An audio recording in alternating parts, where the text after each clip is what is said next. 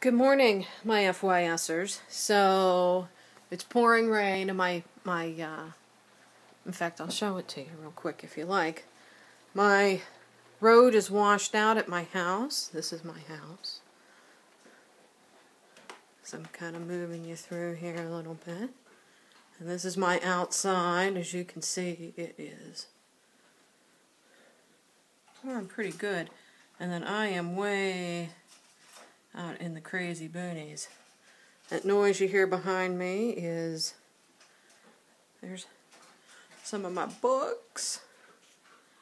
There's some more of my books and some of my more of my books and some of my art. That's my dog, Sheba. Hey! Are you a good girl? Go on. Finish what you were doing. That's my dog. Let me take you in here. And this is where I've been working on my art piece. And I want to give you a little bit of an idea what I've been doing. So, remember everything I was doing was kind of old school. And my favorite actor was Marlon Brando, who is the absolute best at what he did. He's one of the greatest American actors. So I took a bunch of pictures of him that I liked. Wow, that's way too close. Hold on. Took a bunch of pictures of him that I liked.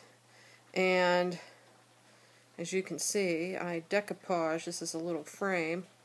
I decoupage some dictionary words that I liked about him on the back of this, and then I took pictures of him.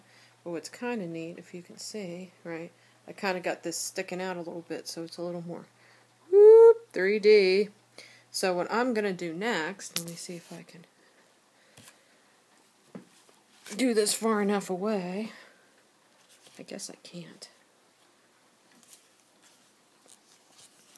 I should have tried this out first. Too close.